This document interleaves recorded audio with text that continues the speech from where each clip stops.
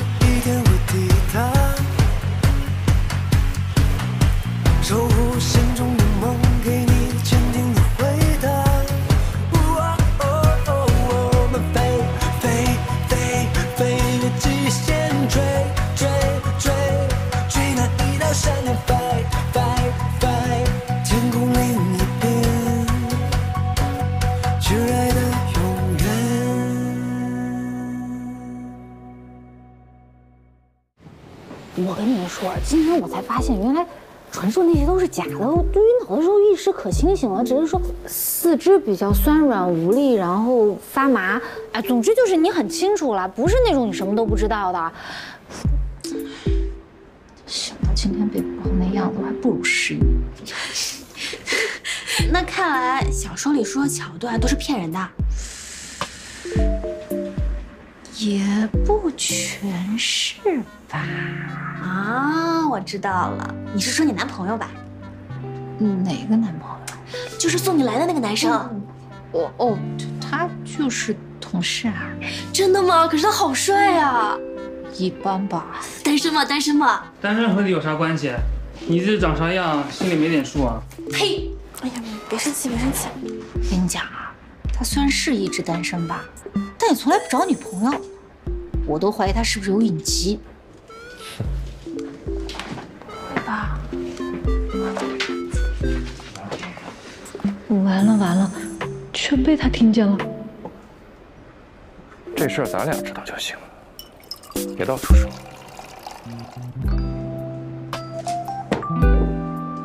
嗯，喝水。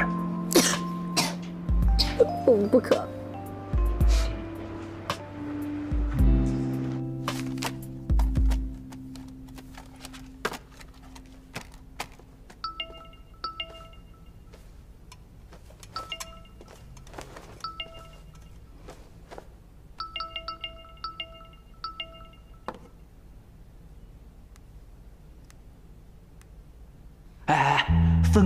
男的打架，听说抢一女的，场面血腥，那女的都给打进医院了。打进医院的是他们技术组的组长，那女的是销售部部长陈叔。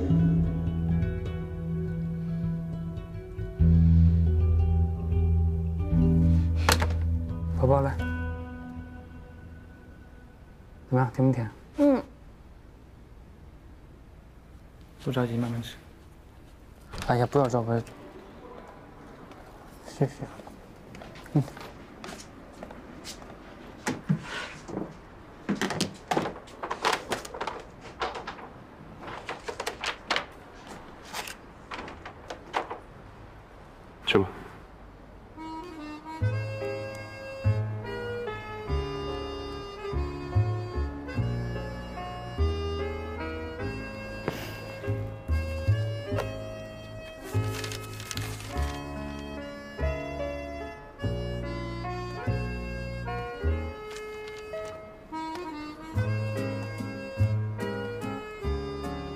好，医生。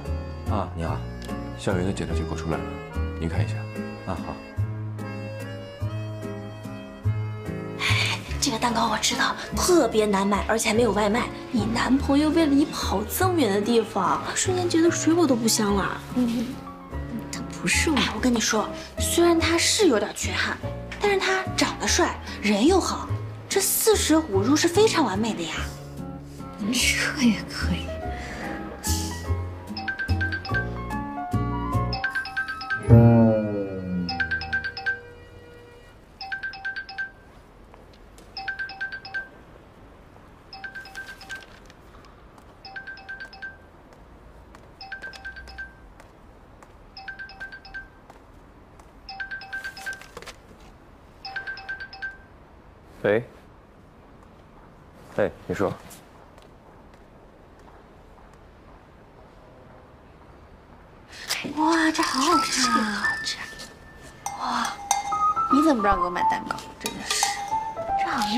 给谁打电话呀？看起来好像很开心的样子。Hello，向组长。向组长，向组长。哎，你们好，你们好。你们来啦。哎，你们吃水果吗？给你们洗点水果。啊，好，谢谢。哎，有志过来搭把手。好，来了。小姐姐，你同事都好热情啊，你人缘可真好。也不是，主要是我是领导，所以这年头啊，人缘好不如当领导。可是你看上去年龄也不大呀。那是因为我看起来显小。哦。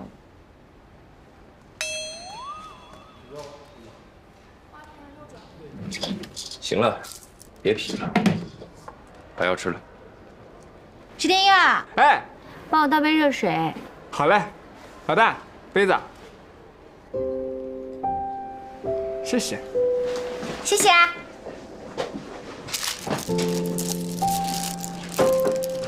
放在这儿吧，没事没事没事，你放这儿了。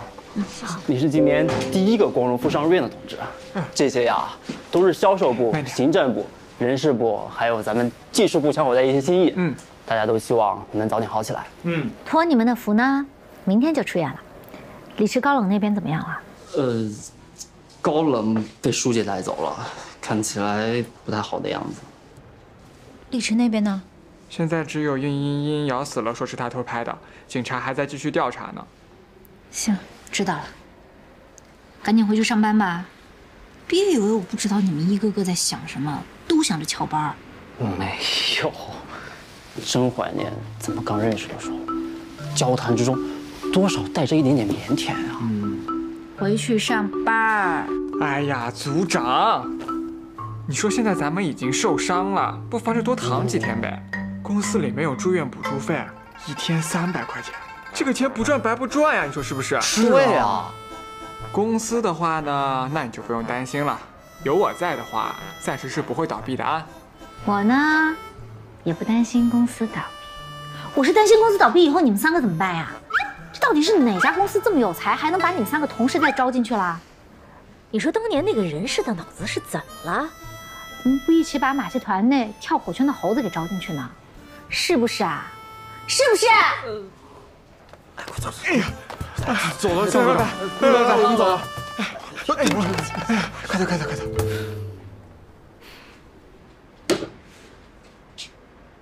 你也回去吧，我一个人可以的。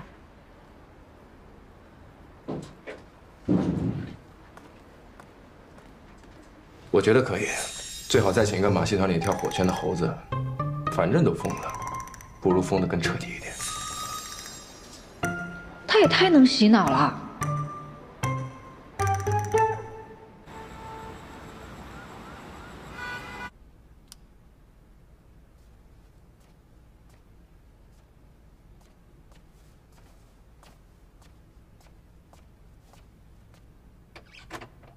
有人。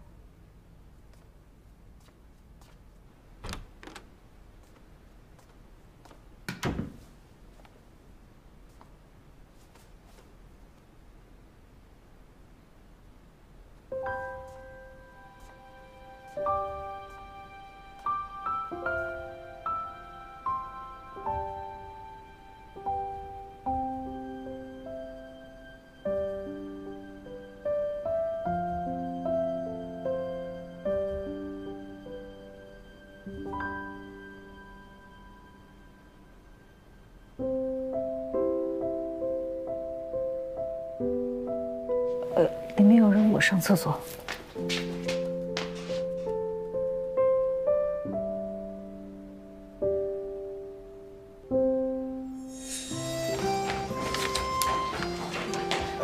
哎，今天轮到你请客了，我要吃梦龙。好啊，要是你明天迟到，请我吃汉达斯。想得美吧你！我看你摸底考试的成绩，只要坚持下去，保送清华是很有希望的。当初入学。学校不仅免试，还给你免除了所有的学杂费，就是希望你能够心无杂念的好好学习，一定要努力啊！谢谢老师，我会努力的。嗯，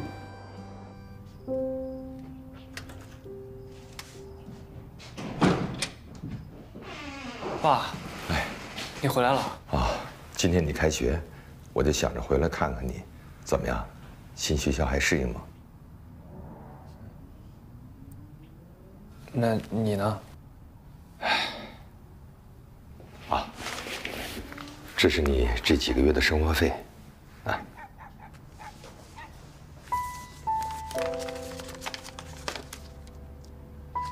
爸，我用不着这么多。你，哎呀，拿着拿着，你看你都瘦了，多买点好吃的。也是啊，爸对不起你。爸，别说了。好，不说了。那你照顾好自己，我先走了啊。对了，如果讨债的上门来，你就假装不在家，千万不要把钱给他们，记住了吗？我记住了，哎，你快走吧，别让他们碰见了。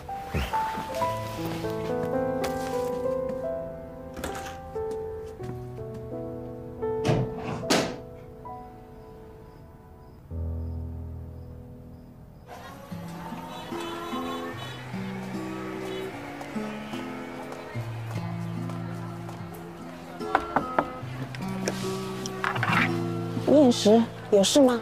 阿姨。这是还你们的钱，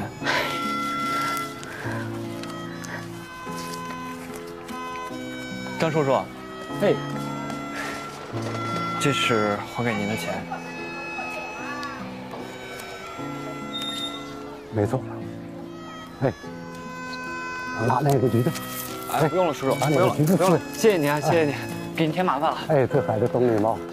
来，先生吃，接着喝。您好，您的串儿。好的，好的，谢谢。来，小心，嗯。还有这档子啊，哦，一块儿给做了。再来一杯，再来一杯，来。快点啊！哎，好嘞，老板。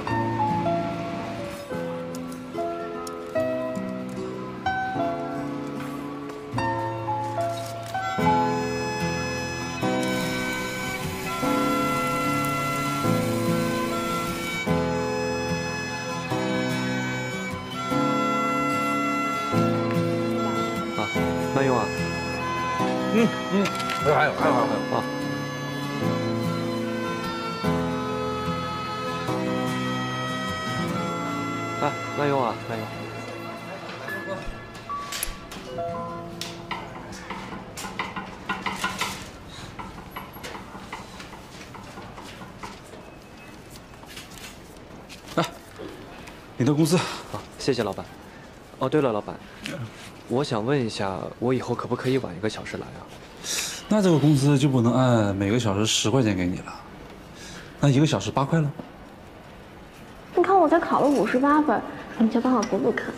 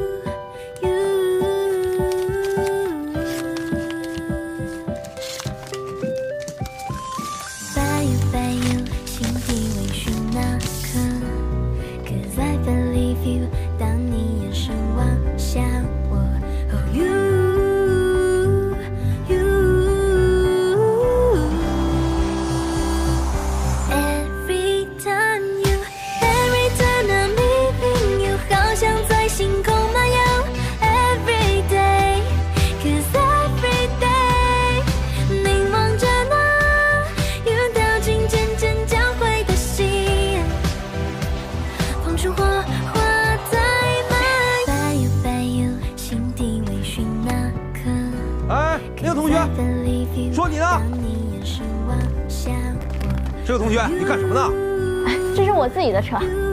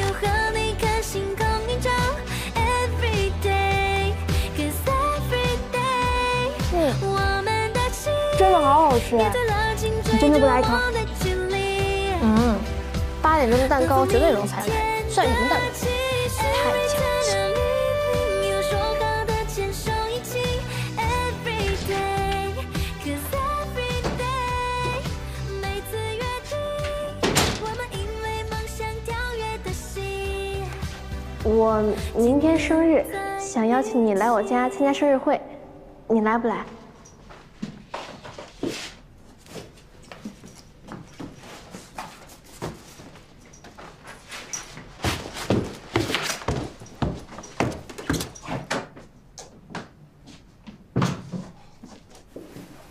爸。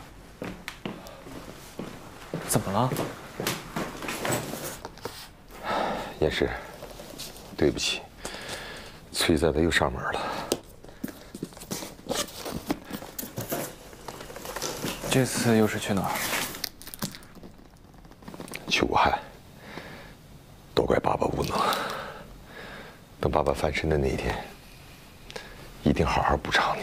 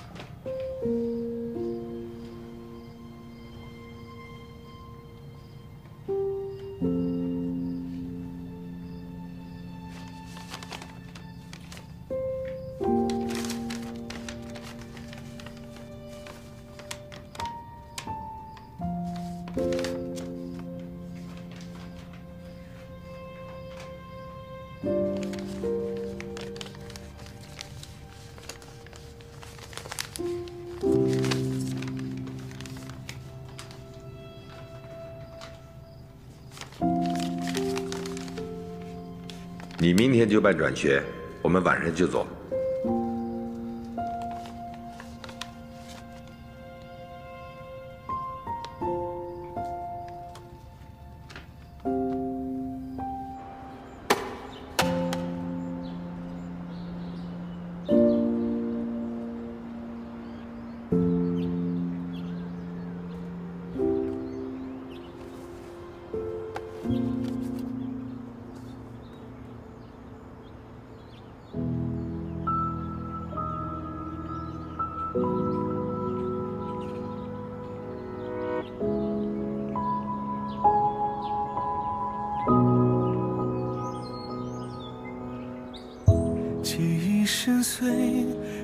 在心海里徘徊。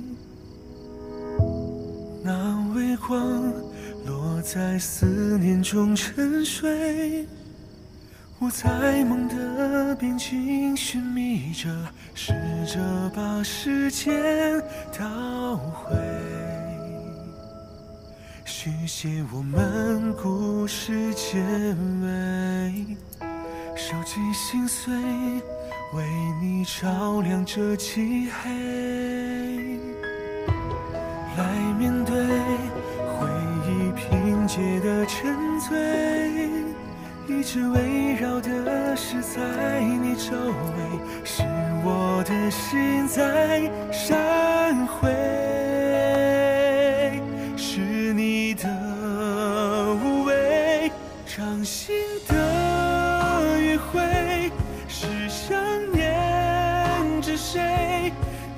是孤单里那温暖的你，一次一次的寻回，当记忆后退，完整爱的不完美，将心落的美，为你去找回，永远在你的周围，说着我会。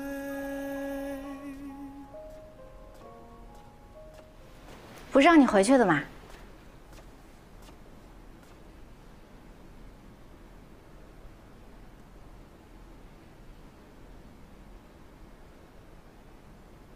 是。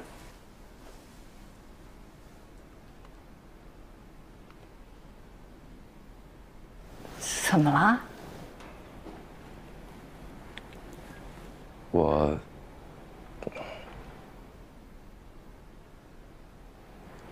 我可能喜欢上一个我不该喜欢的人。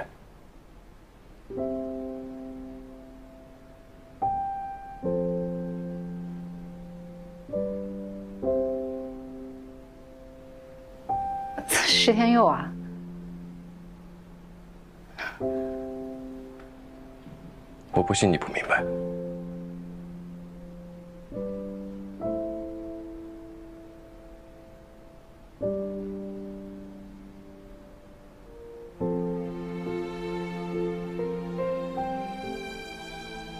嗨，我这人你还不了解吗？八点想吃蛋糕，九点迟到就不算的人。十六岁想要的，二十六岁我就不一定想要了。有些事情错过了就错过了嘛，你总会找到比我更好的。早点回去休息，我进去了。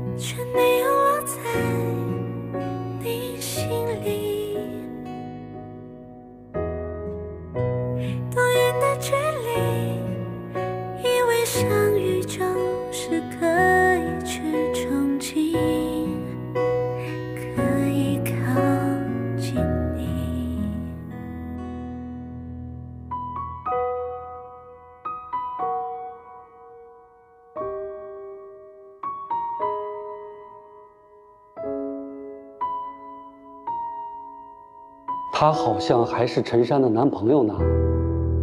就这张照片在东河传的还是挺广的，我还打听了一下，感觉有不少人都知道他们的关系。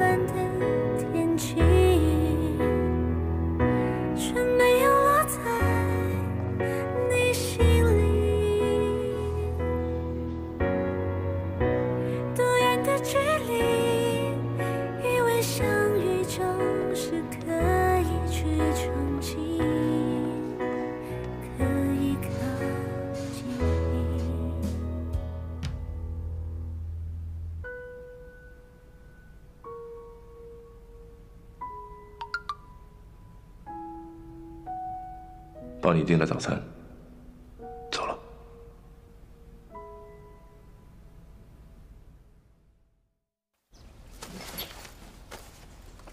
我先走了，拜拜，拜拜。拜。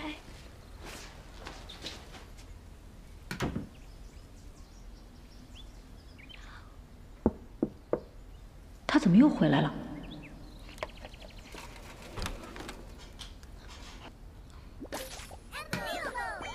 这一进门就听到你在这儿一阵阵游戏的声音，都住院了，手还没闲着。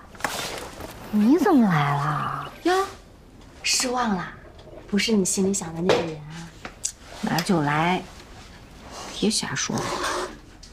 那谁叫你一不开心就喜欢玩消消乐？我开心的时候也玩。哦。哎呀，等爱的玫瑰花还没开呢。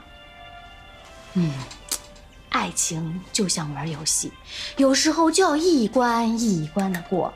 哎，要不姐帮你充值两个风车币，催收一下。闭嘴！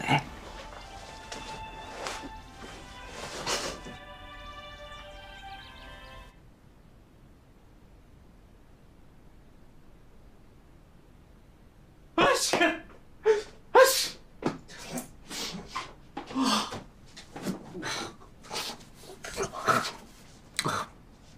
会是陈叔传给我的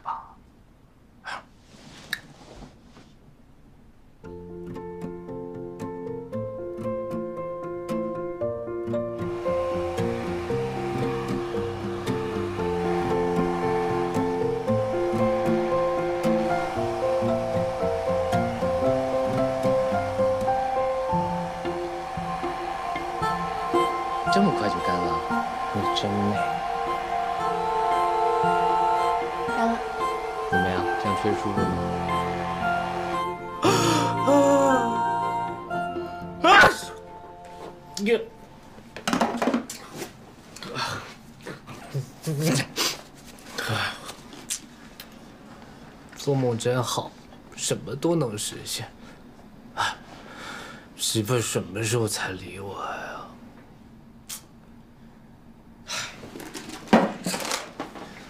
打架是我不对，哎，给他道个歉吧。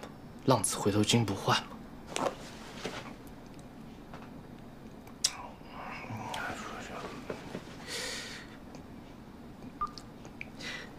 媳，我感冒了。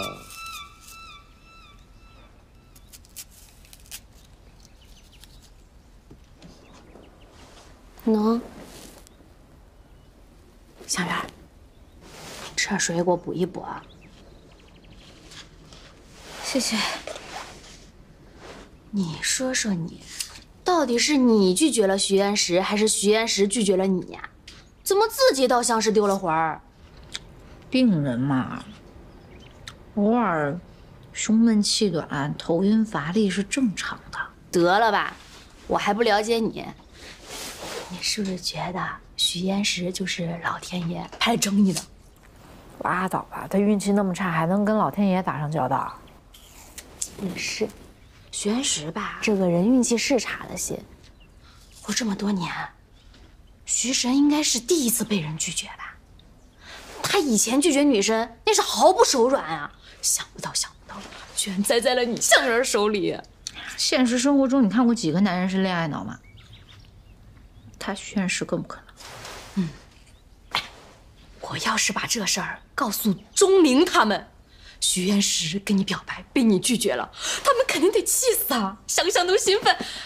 哎，要不我问一下班长什么时候开同学会，把他们全都叫上，一个都不许少。你有毒吧，许愿？怎么了？这事你必须给我保密，一个字都不能说，要不然我就告诉你爸，高二那年你把他的巨头油换成了鞋油。哦哦哦，那鞋油是你爷爷的，你不怕一起挨打你就说。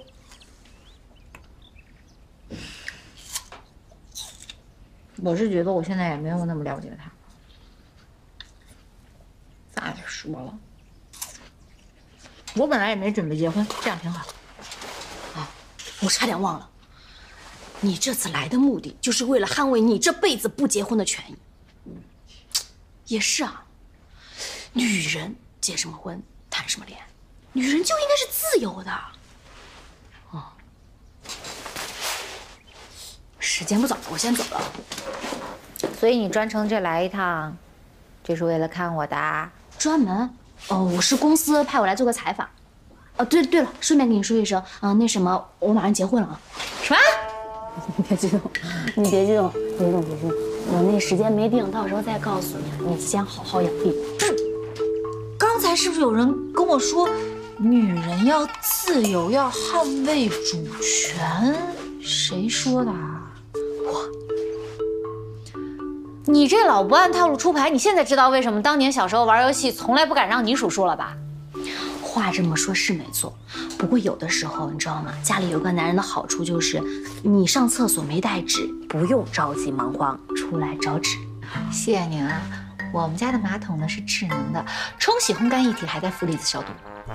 钱能解决的事儿，找男人干什么呀？嗯，什么时候定的？谁？我见过吗？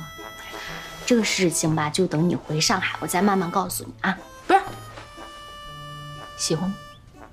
应该很喜欢吧。什么叫应该呀？行了，我的祖宗，我得回酒店赶稿，来不及了，走啊。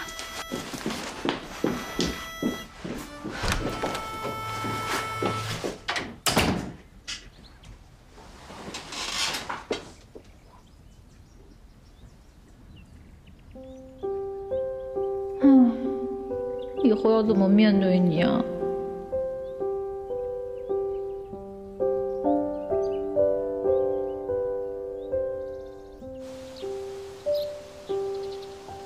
和李治的关系怎么样，林氏？我不知道。那你对李治的私生活这方面有没有什么了解？我不知道啊。你可以想想，他平时在生活中有没有什么特殊的癖好之类的？他平时挺好的。哦，我想到了，不爱冲厕所，不熟。你平时跟李治熟吗？一般吧。好，谢谢。你平时和李池熟吗？关系？嗯，凑合。哎，媳妇儿，媳妇儿，媳妇儿，我给你买了你最爱吃的三明治。哎，哎，媳妇，不要生气了，好不好？求求了，求求了。哎，哎。这里面还加了培根，贼香，媳妇儿。哎哎，媳妇儿，你听我说嘛，我知道错了。我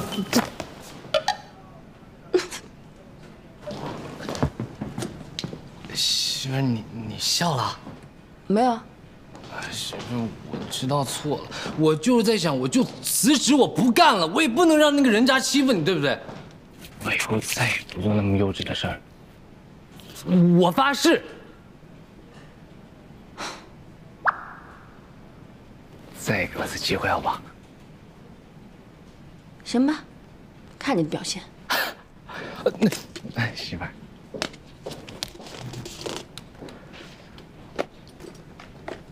儿，那媳妇儿，你看我给你发消息了，还给我买感冒药了。媳妇儿最好了。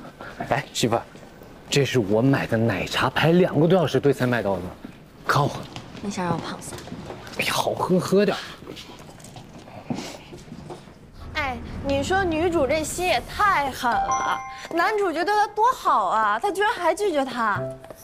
男主以前可是高高在上的校园男神，他知不知道自己几斤几两啊？哎，你知道吗？我看小说最后男主还为了她自杀。自杀？对呀，我真服了，这什么狗血编剧？哎呀，男主长得帅，你就忍着吧。这张俊，老大呢？不知道呀，还没来呢吗？宣师怎么还没来？应该没这么脆弱吧？他这人一向运气不好的，打击受多了，心理承受能力应该很强的。对，心理承受能力这事儿呢，还真不好说。你怎么知道这是不是压倒他的最后一根稻草？哼，也许就是呢，谁知道？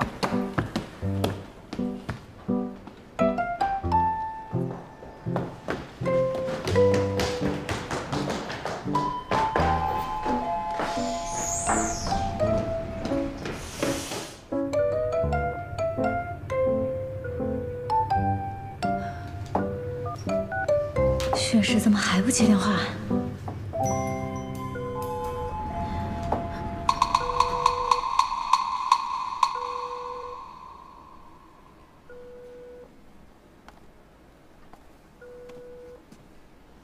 你不是要出去吗？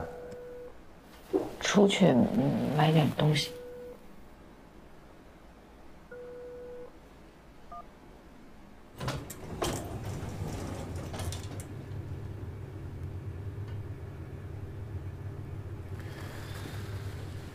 不小心关静音了，着急找我，被人欺负了。刚才真是中了邪了，最近一定是跟高冷他们待久了，被他们的智障影响。没有，就是想让你帮我带个东西。难道是那个？什么牌子？什么？牌子，我等会儿下去给你买。没被人欺负，但眼睛红成这样，是不是那什么来了？啊不，没有，我只只是想让你帮我买一杯咖啡，加糖不加奶，谢谢。嗯，我待会儿去找李永彪销个价，下去给你买。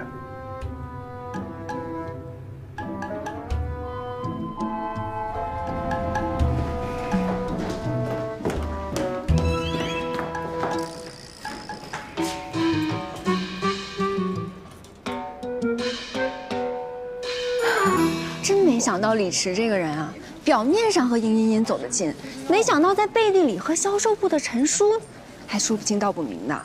他应该只是单恋陈叔吧？这种事儿，一个巴掌拍不响，他们俩肯定有猫腻儿。而且呀，警察来问话，谁敢说他的不是啊？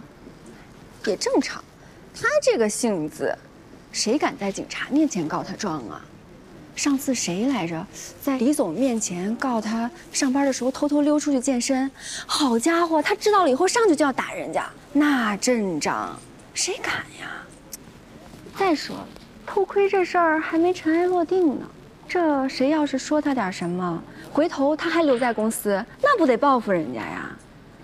你看，今天楼上那李永彪，他都没敢来，就怕警察抓他去问话。这李永彪也太怂了，聊什么呢？啊，组长，你坐。哎，各位，你们有谁和李直比较熟的？警察同志，我是技术二组的组长，我叫向元儿，我来吧。可以，这边请。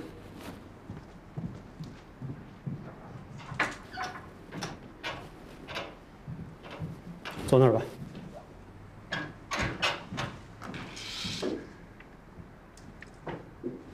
说说吧。李驰是我们组员，这个人平时比较懒散，但是我觉得以他的人格，还不至于做出这种事情。他平时的工作状态怎么样？经常会迟到早退，他有什么别的异性朋友吗？这个我不太清楚。那把你了解的情况给我们讲一下吧。小朋友，你不要担心，我们会尽力抢救你爸爸。希望你可以配合我们，把你知道的情况说一下。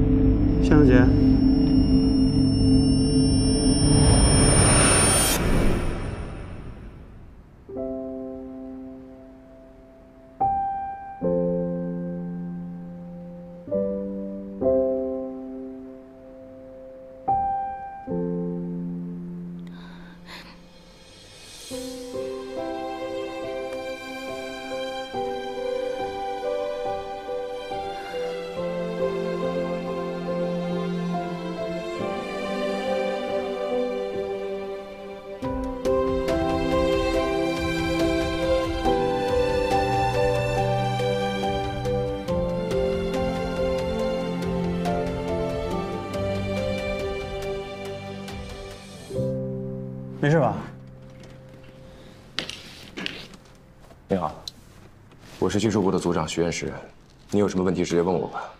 行吧，那我们继续。李池最近有什么情况呢？他没什么情况，他对自己的工作不是很上心，上班健身，下班泡吧，大概情况就这样。那发的那张照片里的那个人是谁啊？陈叔，我们销售部的部长。都是女性，你和她关系熟吗？你了解这个女的和李直之间的关系吗？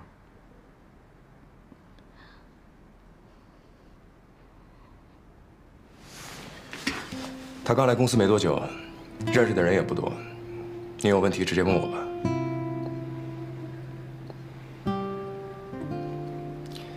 她是我同事的女朋友，平时跟李池接触的也不太多。李池这个人性格比较冲，比较直接，倒也没怎么骚扰过陈叔。有看到过他进入女厕吗？他没见过。这个你也知道吗？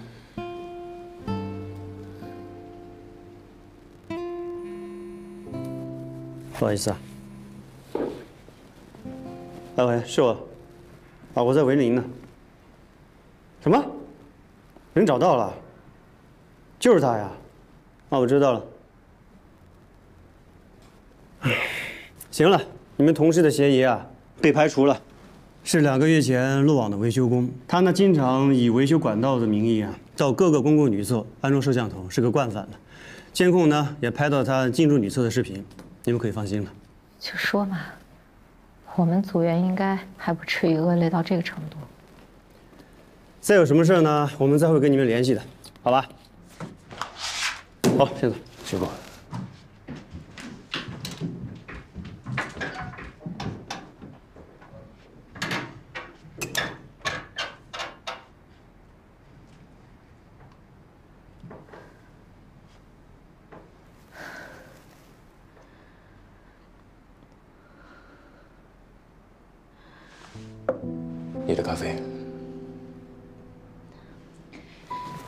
钱？我一会儿转给你。不用了，请自己喜欢的人喝杯咖啡还是请得起的，没那么磕碜。我我没有那个你刚刚意思怎。么了？你知不知道你自己都快晕倒了？